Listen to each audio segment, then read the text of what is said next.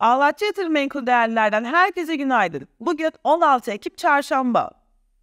Borsa İstanbul'da BIST endeksi haftanın ikinci işlem gününde %1.85 primlenerek 8860 puan seviyesinde günü tamamladı.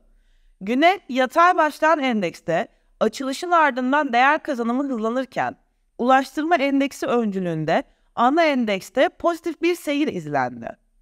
Mali endekste holdingler öncülüğünde değer kazanımı %2'yi aşarken bankacılık endeksi 200 günlük ortalamasından tepki vererek %1.81 yükseliş gerçekleştirdi. Hacimlerde bir toparlanma izlenirken BIST 100 hacmi geçtiğimiz gün 85 milyar TL olarak gerçekleşti. Haftanın 3. işlem gününe başlarken endekste yatay pozitif bir açılış bekliyoruz.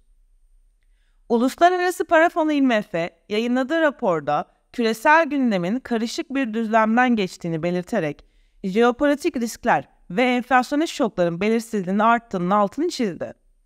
Raporda enflasyon şokları ve artan jeopolitik gerginlikler nedeniyle küresel ekonomik sonuçlar ve politikalara ilişkin belirsizliğin COVID-19 salgını sonrasında daha da arttığını belirtti. Son günlerde gündemde olan kredi kartı limiti 100 bin lira ve üzeri olan kişilerden alınacak olan 750 TL'lik savunma sanayine fon aktarımını içeren yasa teklifi ise geri çekildi. Haftanın ortasına geldiğimizde yurt içinde veri akışı sakinken sabah saatlerinde İngiltere'den enflasyon verisini takip edeceğiz. Herkese iyi seanslar.